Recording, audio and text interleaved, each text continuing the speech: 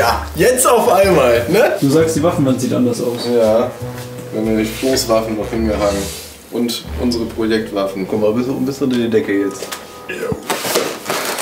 Ja. Dann machen wir in 14, wa? Woraus? Aufpricing Review-Kram, guckst du. Alter, wir haben die sogar richtig hingelegt, dass du jetzt direkt so drauf filmen kannst. Mensch, das war bestimmt geplant. Das sagen wir. Herzlich willkommen zum nächsten ACS Review über eine, äh, wie heißt die überhaupt richtig? Begadi M14 SOCOM. Ich google doch mal.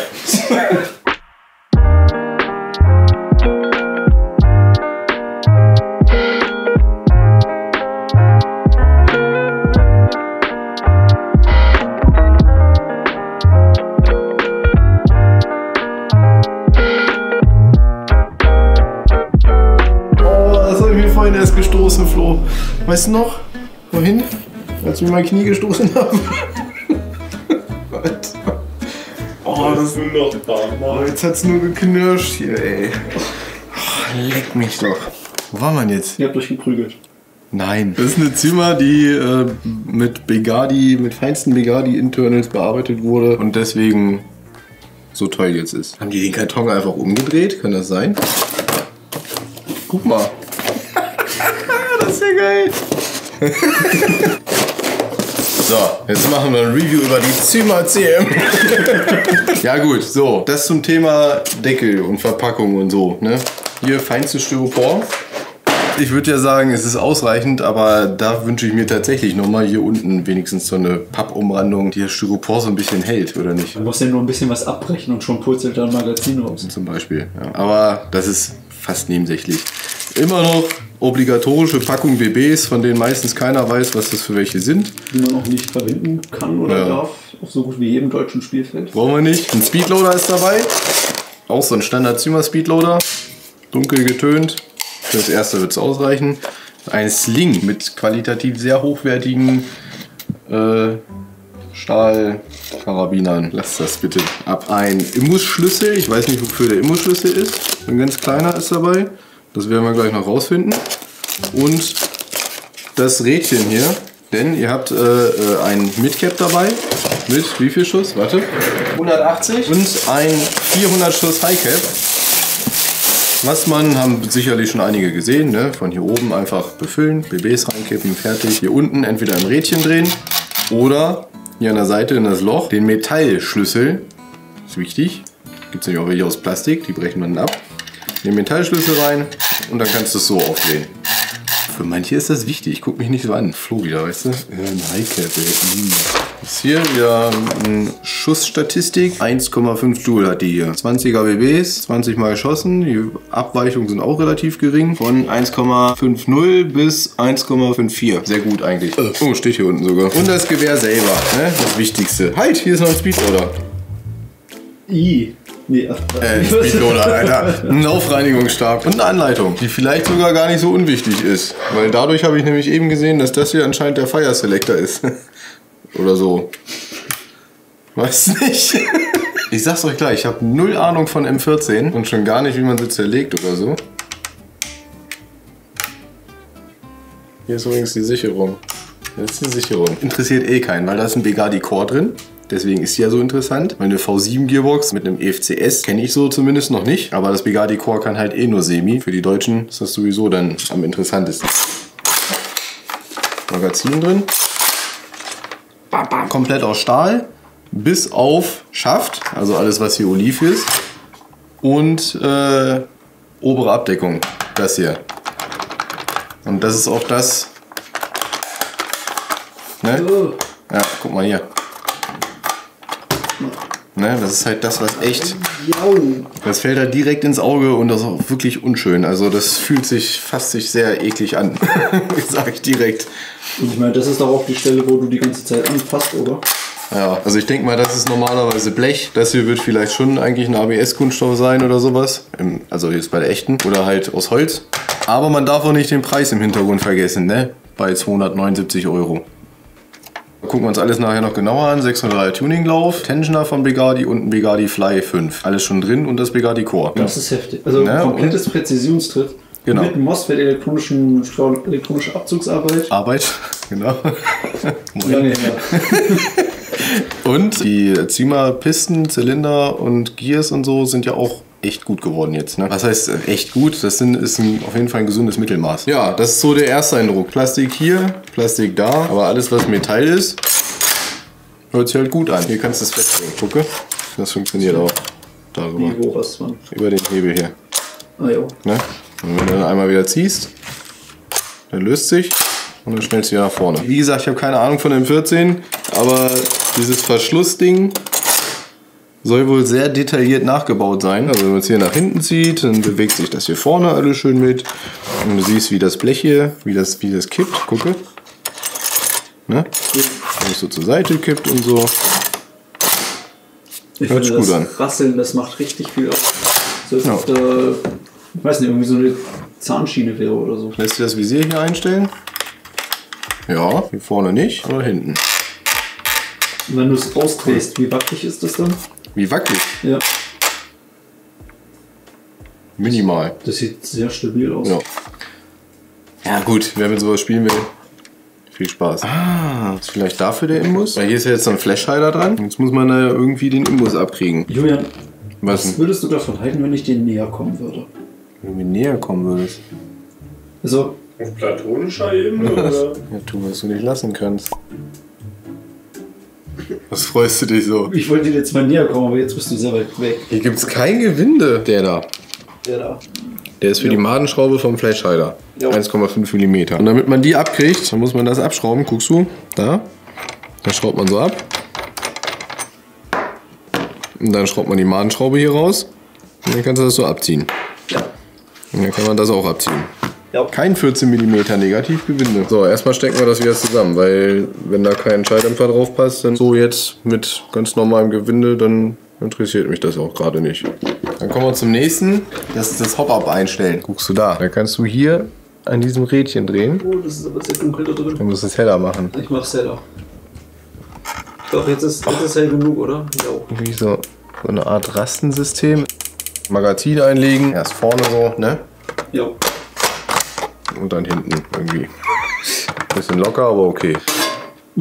Hier haben wir so eine Klappe. Ich, ich bin mir nicht sicher. Ich glaube, damit kannst du das so auf die Schulter legen.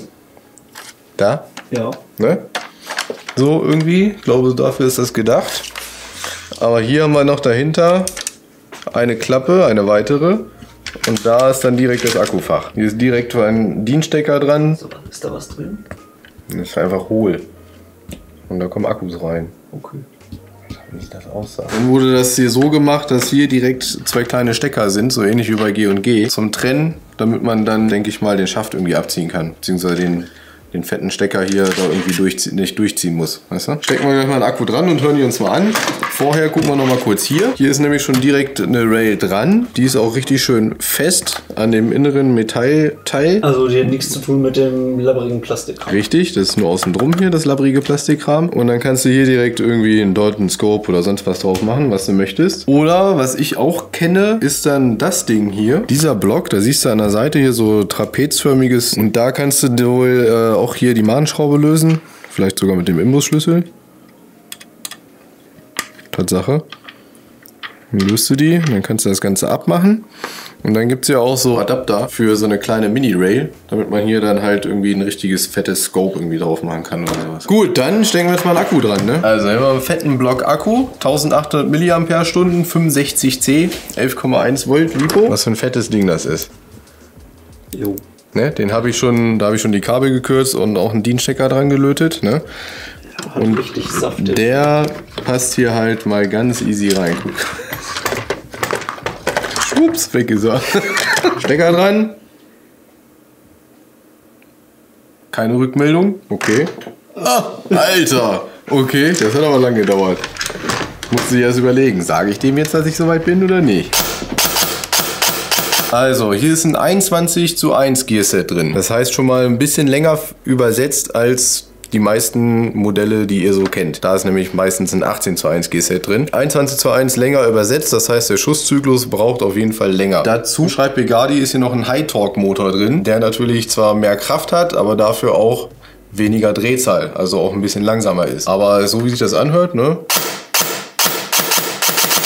Man hört, dass das System wirklich überhaupt gar kein Problem hat, diesen Schuss abzufeuern. So, dafür, dass das Full Stroke ist, also 16 Zähne und eine 21 zu 1 Übersetzung hat.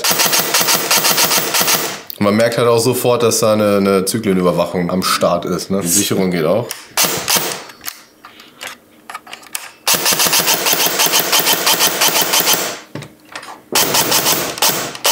Ich krieg's nicht schneller hin, ne?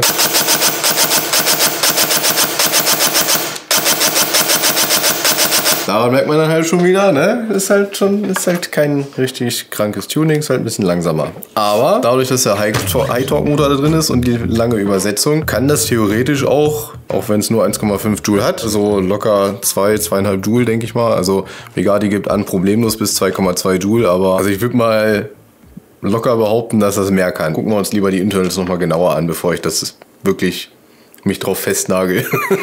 ist natürlich jetzt auch ein, ein, echt kräftiger Akku dran, ne? Darf man nicht vergessen. Ja, das ist ein bisschen äh, zu Fummelsache, ne? Na geht. Ach so, Motoreinstellschraube. Hier.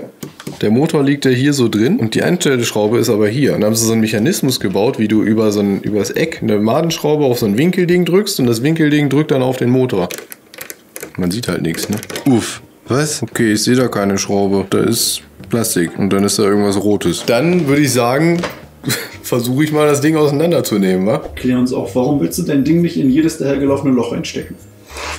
Ich dachte, ich muss hier irgendeinen Knopf drücken. Ich soll hier in das Loch und dann soll ich den, den Triggerguard hochhebeln. Da habe ich doch Angst, dass ich das wegbreche, Mann. Den Triggerguard? Ach ja. So ist das bei der echten, ja? Ich steck's nochmal rein. Ach. Ach, Quatsch. Okay, also das hängt sich da. Oh, gut. Da hinten so hinter. So, dann sollst du hier rein. Dann das so hochhebeln, ja, damit das so ausgehakt ist. Und dann kannst du das hier so hochziehen. So, ne, bis dahin. Ja, und ja. dann einfach gerade hoch abziehen. Und dann siehst du hier, ist das die Verriegelung hier. Zack, und sitzt das Ding fest. So, also ich nehme jetzt sicherheitshalber schon mal die Stecker hier ab. Nicht, dass ich gleich irgendwo dran rumziehe und auf einmal ruppe ich hier irgendwas auseinander und dann reiße ich irgendwas ab. Da habe ich keinen Bock drauf. Also ich glaube, ich kann das jetzt schon hier so. Junge! Ey, da soll doch mal einer sagen, ich kann nichts. Ja gut, so wirklich verbindungssteif ist das jetzt nicht. Ich drehe nicht weiter, weil es knistert schon. Ich lass lieber. Passt schon. Das hier ist das äh, sozusagen der Spring Guide oder was? Oh ja. Ah, okay. Das ist nochmal so ein Gewicht und hier hinten ist nochmal so ein Puffer, der dann so den Aufschlag nochmal so ein bisschen dämmt ja. und so. Ne? Und die Feder hier, die muss stärker. Nur fürs Feeling. Guck mal, das kannst du auch hier, kannst du auch diesen Spring Guide hier wunderbar so rausziehen.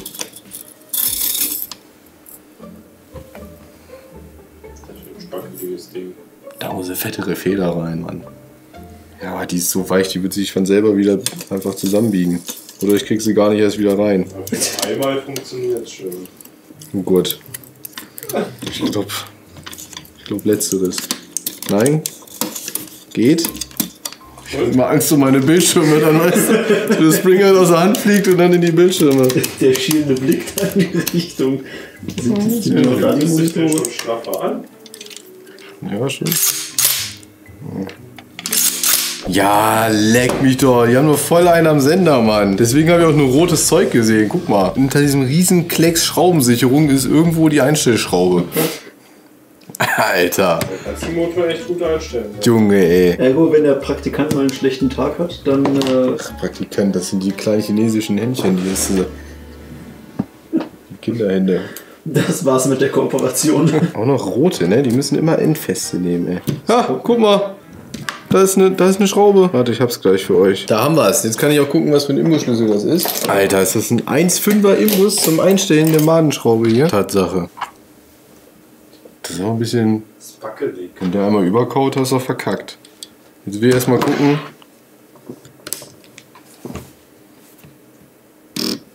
Okay. Ui, guck mal, wie der Motor sich bewegt. Ich sehe es auf Funken da drin.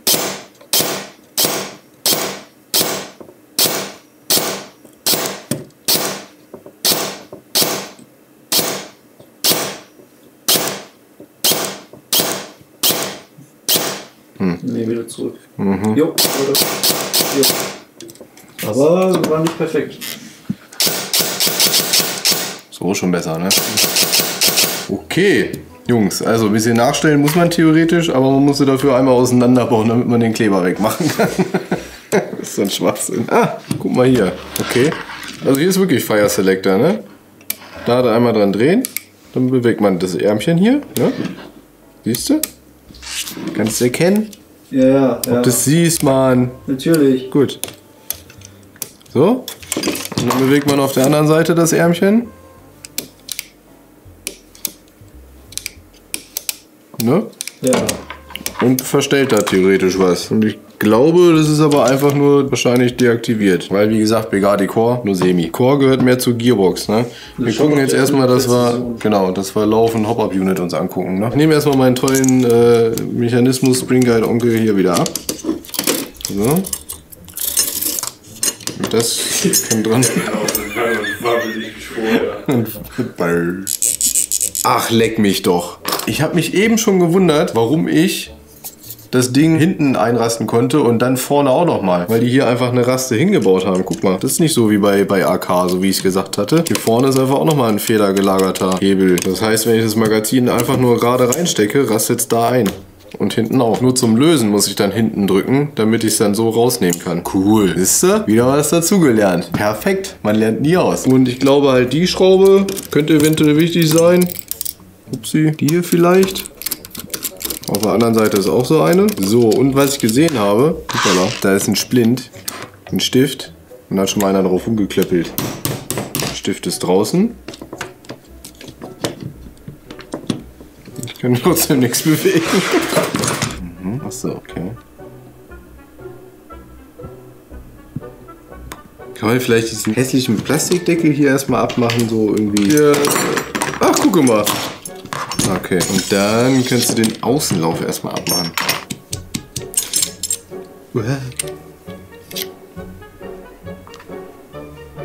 Ich habe keine Ahnung, ob das jetzt so gewollt ist, aber auf jeden Fall ist es jetzt draußen.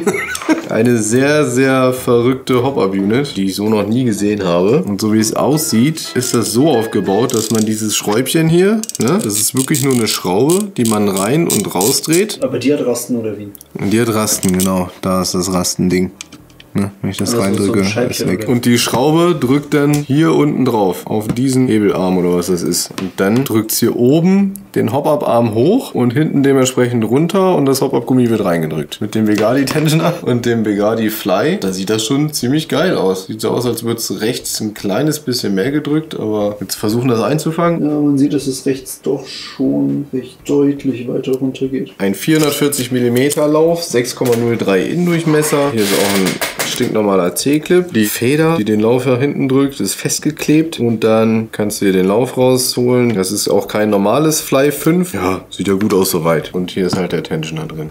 Aha, ein Standard-AEG-Lauf ist das nämlich doch nicht. Deswegen mussten sie doch das Hop-Up-Gummi hinten ein bisschen einkürzen. Einfach hinten abgeschnitten, ne? Weil, gucke hier. Hier ist der C-Clip, der von dem, von dem äh, M14-Lauf. Und hier ist die C-Clip-Aufnahme von dem Standard-AEG-Lauf. Also ein Standard-AEG-Lauf wird nicht passen. Tja, das ist natürlich blöd. Da müsste mal einer hingehen und mal testen, welche Läufe mit mehreren Schlitzen hier so reinpassen. Wa? Ja, Gearbox muss raus, ja. Du musst nur mal eben die Kamera abkühlen lassen und ich musste Pause machen und habe schon wieder die Hälfte vergessen. Also, hier kannst du nämlich diesen Pin hier rausdrücken. Und dahinter ist eine Schraube. Äh, eine Feder und da ist eine Schraube. Und die müssen wir noch rausdrehen. Und dann können wir, glaube ich, die Gearbox rausnehmen. Gar nichts machen. Scheiße. Hier ist nämlich noch eine kleine Schraube. ACS-Review, wie man es nicht macht. Hallo. So lernt man doch am besten, oder nicht? Indem man es einfach macht. Und hier ist noch eine kleine. So. Hat man nicht gesehen jetzt hier, ne? Da hinten. Ja. Und da vorne. Ah, jo. Ah, jetzt. Nee. Oh, hier ist noch eine kleine. Da. Guckst du? Ja. Die muss auch noch raus. Jetzt aber. Siehst du? Wusste ich doch. So. Jetzt ist sie draußen. Ging noch ruckzuck. Ratzfatz. Ich sehe das Videoende schon kommen und jetzt bauen wir sie wieder zusammen. To be continued. So, gut. Also, Federschnellwechselsystem haben wir nicht. Das Material hier, keine Ahnung, was es ist, sieht so aus wie eine ganz normale Standard-Zymer Gearbox-Shells. Ne? Gucken wir uns jetzt erstmal das Bugatti Core an, ne? würde ich sagen. Das sieht ja so aufgesetzt aus hier. Mit vier Schrauben. Ganz einfach. Und ich denke mal, den Hebel hier, der ist wirklich außer Funktion, weil der wird hier wahrscheinlich einfach dann äh, irgendwie normalerweise was betätigen an der Stelle. Aber das ist halt weg, weil das Bugatti Core halt nur semi kann. Ne? Aber meine Überlegung ist dann jetzt, ne? Das Bugatti Core, das war ja ziemlich genauso aufgebaut wie die ASCU. Pro. ASCU Pro. Irgend so ein Ding halt. Ja. Jetzt ist, stellt sich mir für, äh, für mich die Frage, lässt jetzt Begadi die ganzen Sachen bei Airsoft Systems herstellen, weil da die ASCU herkommt? Und gibt es dann vielleicht bald eine ASCU nachrüstbar für V7 Gearboxen? Schön, ist jetzt einfach ab. Oh, oh, oh, oh, scheiße. Hier müssen wir aufpassen, das ist geschimmt. Gucke, da ist eine Schimmscheibe drunter, da klebt noch eine dran und da ist noch eine an den Anschraubpunkten. Oh, Vorsicht, Vorsicht. Das hier ist der Abzugstaster. Ihr müsst euch vorstellen, das sitzt so drin. Man betätigt hier den Abzug und drückt dann dabei hier auf den Taster. So irgendwo an dieser Position. Na? Dieser Hebel, der sitzt hier so drin. So. Und das wird der Hebel für die Gearüberwachung sein, quasi der Cut-Off. Das heißt, hier wird das Sektorgear sitzen. Die Nocke vom Sektorgear drückt auf den Hebel. Der Hebel ist hier mit einer Feder so gebaut, dass er immer hochgedrückt wird. Wenn dann die Nocke ankommt vom Sektorgear, wird der Hebel hier hochgedrückt und drückt mit dieser Flanke auf diesen kleinen Taster. Da. Und dann weiß das Brigadi Core, jetzt ist ein Schusszyklus vorbei und ciao. Was ist das denn hier? Guck mal hier auf der Seite, die ganzen Kontakte da. Siehst du das? Das sind ganz viele offene Kontakte, wo man Sachen anlöten kann. Und hier ist noch... Lecco mio. Achte, die, äh, achte auf die Anordnung hier, ne? Die sieht genauso aus wie bei den Tastern hier. Das heißt, wenn du so einen Taster hast, lötest den da drauf, dann hast du nämlich genau die Position, wo der Vollautoschalter gedrückt wird. Wetten? Ja, aber 100 pro. Haha. Gleich illegal machen. Nein. Alter, du hast einen Finger drüber gemacht, du Sau, ey. Der hat einen Finger über die LED gemacht, der Blödmann. Gut, dann fangen wir jetzt an, die Gearbox zu zerlegen, wa? Als erstes mal hier Abzugsgeschichte und Sicherungsgeschichte ab hier. Den ganzen Hebelmechanismus und so. Das ist nämlich eine rein mechanische Sicherung, die echt gut funktioniert. Also Speed Trigger kann man da Puh, das Auseinanderschrauben ist nicht so geil, finde ich. Klar, jetzt wo man weiß, welche Schrauben wo, wie, was, dann okay, aber drüberhebeln, dann kann der ganze Schrumps hier ab. Und hier müssen wir jetzt erst einmal die hier abschrauben und die hier. Den Hebel hier, den machen wir auch ab, aber so wie sich das anhört, wird dahinter mit Sicherheit eine Kugel sein und eine Feder. Also vorsichtig abmachen. Aha, hier oben steckt hier drin. Siehst du? Ja. Ja, und es greift hier in diese beiden Schlitze da rein. Ja. Dann jetzt nur noch hier die Feder aushaken. Hier hinten am Motorkäfig. Vorsichtig. Und dann den Abzug abmachen. Und dann können wir den Motor rausziehen. Steht natürlich nichts drauf auf dem Motor. D-Type Pinion Gear. Ich glaube, das lohnt sich nicht, den rauszuschrauben aus dem Motorkäfig. Das ist ein Short-Type, falls es irgendwen interessiert. Das Blechlein abschieben. Und jetzt halten wir hier mal ein bisschen gegen. Flo und ich hatten nämlich vorhin so eine kleine Vermutung, ne? Beziehungsweise Flo ist da drauf gekommen. Weil die Gearbox, die sitzt ja ein bisschen schräg drin. Die sitzt ja doof gesagt so. Lauf gerade, Gearbox schief. Haben Flo und ich die Vermutung aufgestellt, dass das dadurch ja total undicht sein muss und dass sie deswegen wahrscheinlich eine richtig fette Feder da reinmachen, um die Undichtigkeit auf 1,5 Stuhl zu bringen. Wird schon nicht passieren. Hier ist noch eine kleine Schraube. die habe ich gesehen. Da fehlt außen rum was. Wie, was fehlt außen rum? Ja, von dem Schraubenkopf. Hä? Ja, wenn ich dir das sage, gucke doch. Da ist noch ein kleiner Kreuzschlitz drin. siehst du denn? Hä? Ja, Was zum... da hat doch einer den Schraubenkopf abgerissen. Ist das die neue Sicherungsfunktion von Begati? Abreißschrauben. Abreißschrauben, damit man die Gearbox nicht auseinanderkriegt. Toll. Jetzt muss ich hier hinten die scheiß Feder festhalten und hier vorne muss ich aus der Schraube einen Stift machen oder wie. Und Angst haben, dass mir die Gearbox nicht reißt dabei. Ich habe richtig Spaß dabei. Zack, neue V7 Gearbox. Gott.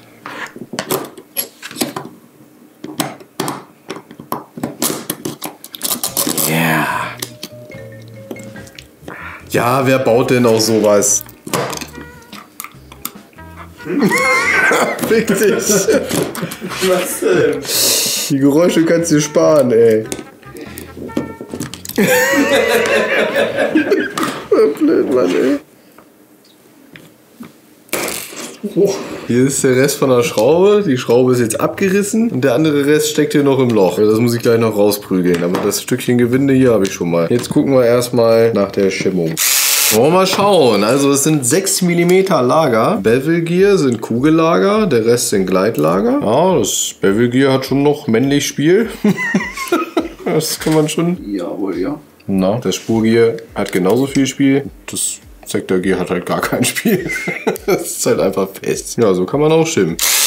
Erstmal ist hier wieder natürlich super zähes Fett drin, wie man es von Zimmer so kennt. Das ist ja teilweise wie Kleber fast. Das ist, als hätten die da irgendwie sowas, eine Mischung aus Patex und, und Fett da dran geschmiert. Das Bevel Gear hat vier Rasten für den Anti-Reverse Ledge. Standard. Die Zähne hier sind zehn Stück. Und es ist anscheinend wohl auch ein Standard Bevel Gear. Sector Gear als nächstes. Das scheint auch Standard V2 zu sein. Was soll ich dazu sagen? Aber was nicht passt, ist das Spurgear. Das ist nämlich im Durchmesser um einiges kleiner. Und die Gearbox ist so klein hier an der Stelle, dass man ein Standardspurgear nicht reinkriegt. So sitzt drin und das wäre ein Standardspurgear. Also das wird nichts. Ich denke, da sieht ein Blinder mit einem Krückstock. Das muss auf jeden Fall drin bleiben, egal was man machen möchte. Bei der Lauflänge würde ich auch nicht viel Shorts drucken, vielleicht einen Zahn, wenn überhaupt. Das dazu, dazu, dazu, hier AEL sieht soweit sehr anständig aus. Die Feder war auch mächtig stark, also alles perfekt, da wird es wohl keine Probleme geben. Spring Guide, Kugel gelagert, auch ein schöner Aufbau. Ich finde das immer geil, wenn der lange Schaft hier äh, ein Teil ist mit der Auflagefläche der Feder. Das finde ich immer das ist eine sehr gute Lösung. Dann dreht sich nicht nur der untere Bereich hier, sondern der gesamte Schaft kann sich mitdrehen. Plate, natürlich V7 Gearbox, das muss eine spezielle sein. Und die hat hier dann auch noch so eine Feder drin sitzen. Das erinnert stark an etwas, was ich nie wieder tun wollte.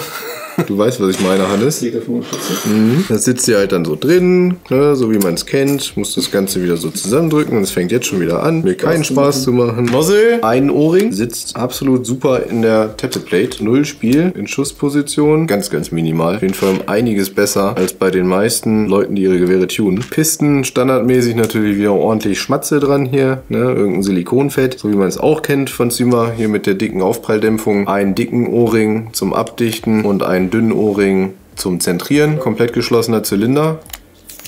Und ja, das Ding komprimiert halt sofort. Ne? Also ist auch nicht anders zu erwarten bei, den, bei, dem, bei der Schmatze, die da dran ist. Was ich ein bisschen doof finde, sind die Löcher hier. Die sind ein bisschen klein. Ich denke mal, wenn die ein bisschen größer wären im Durchmesser, wäre das, äh, würde sich der O-Ring schneller anlegen. Komplette Stahlzahnreihe am Pisten. Sehr gute Standardqualität einfach. Hier ist auch nochmal ein Kugellager drin. Hier würde ich mir noch ein bisschen Fett drauf wünschen. Also die Zylindergruppe ist schon top. Also nicht top, aber Ja, kann man so lassen. Ist schon sehr gut. Ja, also beim Pistenhead weiß ich, dass ich die Aufprall, der Aufpralldämpfung hier, dass sich das ab und zu mal löst, siehst du? Das kommt hier an den Seiten so ein bisschen hoch. Wenn sich das halt komplett löst, dann stehst halt da. Aber in der Regel hält das erstmal eine ganze Weile. Alles in allem, was die Gearbox wieder mal angeht, sehr, sehr gut eigentlich. Bis auf die Schimmung. Also wir haben jetzt nicht zum Schussbild gesagt, zum Präzisionsbild. Und wir haben keinen Kronentest gemacht und keinen Pruning-Test. Jo. Aber ist jetzt so. Jo. Guck mal, wenn, wenn so ein Schussergebnis dabei ist, weißt du? So ein Chrono-Ergebnis. Was sollen wir da nochmal nachkronen? Die erzählen wir ja keine. Scheiße hier. Nee, das hat ja immer gepasst, was wir in letzter Zeit gemacht haben. Eben. Also Fazit zum Gewehr. Ich finde den Schaft halt traurig. Ende. Ende. es ist halt ein bisschen schade, dass ich null Ahnung habe von, von M14, weil sonst könnte ich euch wahrscheinlich auch sagen, ob man da vielleicht irgendwie einen Holzschaft dran schrauben kann. Aber dadurch, dass das so aufgebaut ist wie die echte, gehe ich mal davon aus, dass das auch so aufgebaut ist, dass man da auch irgendwelche Zubehör Holzschäfte dran stecken kann. Und dann sieht nämlich die Nummer wieder ganz anders aus, finde ich. Was mich noch ein bisschen eher interessieren würde, weniger der Schaft, sondern mehr diese Plastikverkleidung oben drauf, ob man die vielleicht irgendwie Die- aus Metall kriegt und Ja. die da auch dran kriegt. Die Dass das bestimmt mit Blech. Weil das sah schon echt krass garkelig aus. Also am besten gefallen hat mir auf jeden Fall der komplette Rest. Ne? Dieses ganze Verschlusssystem. Gut, Hop-Up-Unit ist ein bisschen gewöhnungsbedürftig, der Mechanismus und so weiter. War cool aufgebaut und die Gearbox, wie gesagt, auch. Mit Bugatti Core sowieso kein Thema. Das wäre mein Fazit. Reicht euch das? Wenn nicht, dann schreibt es in die Kommentare. Noch ist das Gewehr hier. Obwohl, warte mal. Vielleicht ist es bis dahin nicht hier. Wann kommt denn das Video? Können wir vorstellen, März. Dann ist bestimmt noch da. Oder ich hab's schon. Äh, scheiße. Dann musst du rauspiepen. Das kommt jetzt erstmal alles in eine Kiste, dann kommt es ins Regal und dann holen wir die P90 her. Ne? Das drehen wir nämlich jetzt direkt im Anschluss.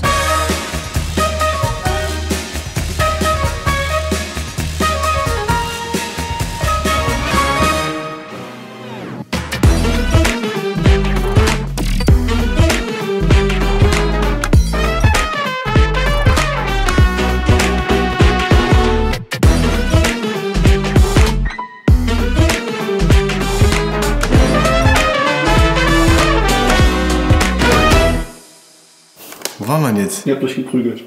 Nein.